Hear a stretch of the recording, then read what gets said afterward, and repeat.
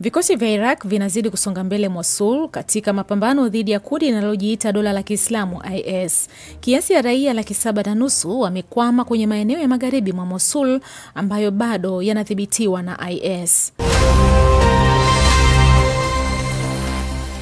Raia wapatao elfu thelathini na mbili wa Sudan Kusini wamekimbia ukame nchini mwao. Shirika la Umoja wa Mataifa la kuwahudumia wakimbizi UNHCR limeomba msaada wa dola milioni 166.65 kwa ajili ya kuwasaidia raia waliokimbilia nchi jirani ya Sudan.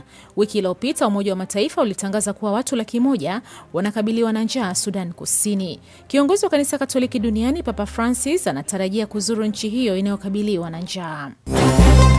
Kim Jong Nam, kaka wa kiongozi wa Korea Kaskazini, alikufa chini ya dakika 20.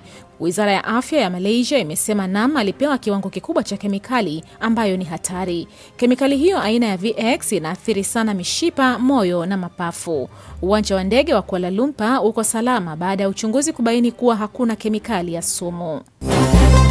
Filamu ya Moonlight imeshinda filamu bora ya tuzo za Oscar.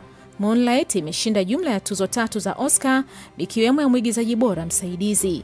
Filamu hiyo ilitangazwa mshindi baada ya awali filamu ya La La Land kutangazwa mshindi kimakosa.